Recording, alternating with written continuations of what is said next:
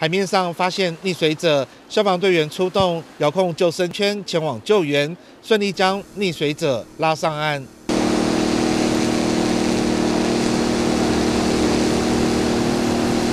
这台遥控救生圈可以双向行驶、垂直翻转，救援速度每秒最快可以达到六公尺。它的最主要就是迅速抵达溺水者的现场。那当然，如果结合空拍的状况来讲的话，就是可以做一些远距离的救援，因为它的遥控有四百四百米，所以在整个的救援上面来说，以速度取胜。那当然，它的速度比一般人游泳都还要快上十倍以上。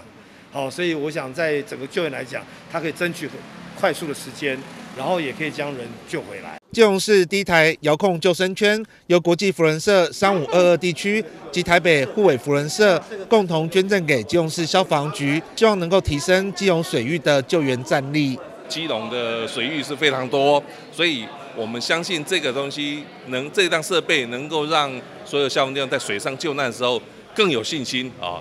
所以最主要强调是它可以人不用下水，让机器下水，然后去救到人。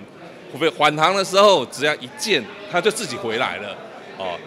速度很快，机动性高。这项方面，我们希望能够有这样的设备，带给消防局的弟兄更有力的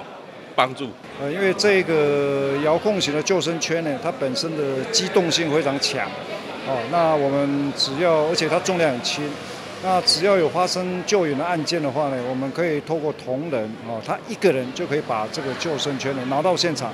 那抛入水中以后呢，哦，利用遥控，哦，就可以让这个救生圈呢，哦，到那个被抢救者的一个身边呢，哦，抓住这个救生圈以后呢。哦，我们就可以利用遥控哦，再把那个被救者把他救回到岸边。消防局获赠救灾利器的，还有这一台四轮驱动的邦普消防车，由国际福人社三四九零地区正式捐给消防局，搭配移动式的消防棒普，重量轻，体积小，可以单人搬动。这一台上面就就这个台系统上面，我们有配置到呃。全国第一台最大的一个吸水物量哈的一个设备，来自于意大利原装进口的一个设备。那么是由汽油引擎来驱动，同时我们上面直接就备有了水箱。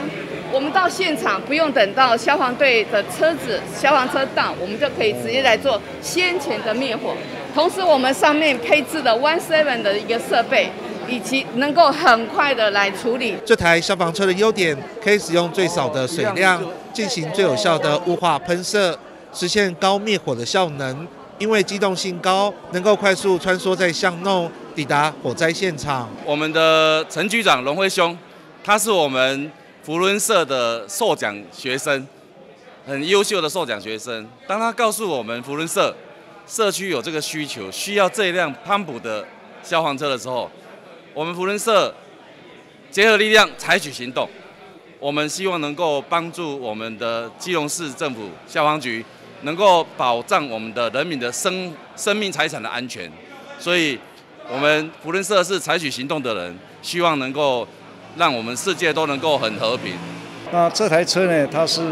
呃高压的一个细水雾哦，四轮驱动的一个小棒补车。那其实这一台车呢，它的效率很强哦，因为它有结合哦那个泡姆系统，还有结合 One Seven 系统。那它需求的哦抢救的时候需求的水量不多哦，所以我们到达现场以后呢，呃可以透过 One Seven 系统呢哦，还有这个高强高压的一个细水雾哦，来达到灭火的一个功效。那因为这个一般在使用在呃我们基隆市呢。哦，是因为是山坡地比较多哦，所以它它这台车子不会大哦，那对我们的一个抢救呃巷道的一个功能性呢是非常强。